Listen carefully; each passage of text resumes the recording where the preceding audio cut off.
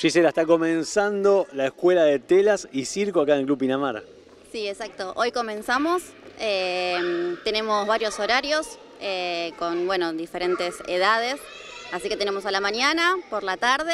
Una actividad que ya vienen realizando hace cuánto tiempo. Eh, acá en lo que es Pinamar ya hace tres años, cuatro. yo en Capital ya vengo hace años dando clases, también tenía otra escuela. Eh, así que nada, es una escuela donde se hace lo que es toda la parte artista, artística, todo lo que son las disciplinas circenses y sobre todo acrobacias aéreas que abarca tela, trapecio, aro y arnés, que es lo que se va a implementar este año, que es lo que es danza aérea.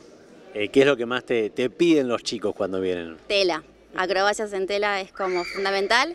Eh, acrobacias en trapecio y aro es muy bueno para todo lo que es el desarrollo físico, o sea, lo que es la fuerza.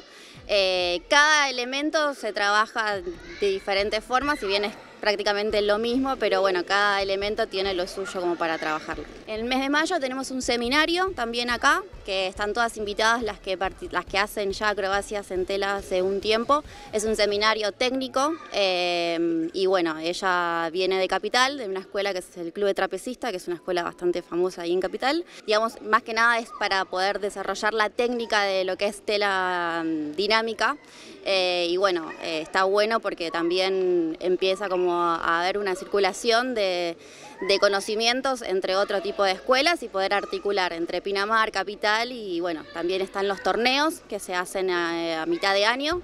Eh, va a haber, las chicas, las alumnas de acá participan de un torneo eh, a nivel nacional que bueno, participan escuelas de, todos lados.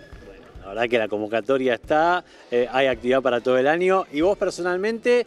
Yo empecé a los 18 eh, no existía, prácticamente estaba lo que era la, actividad del circo. Eh, empecé en el circo criollo, en Capital. Hice muchos años como alumna y después en la escuela ya hace 10 años, 11 años que estoy dando clases como profe. Eh, soy instructora y además profe de circo integral.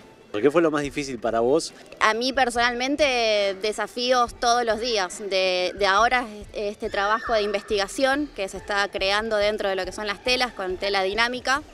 Eh, pero bueno, fui pasando por lo que es eh, tela, trapecio, aro, eh, y sigo entrenando todos los días, aprendiendo todos los días, porque esto es un desafío que es día a día. Lo que yo le digo a las alumnas que no es que no, no es bueno, voy, pruebo, no pude, porque es una, es una actividad que requiere fuerza, flexibilidad, coordinación y se trabaja todo, cabeza, mente, todo. Y manejar mucho las frustraciones, que eso también es un trabajo personal de cada uno.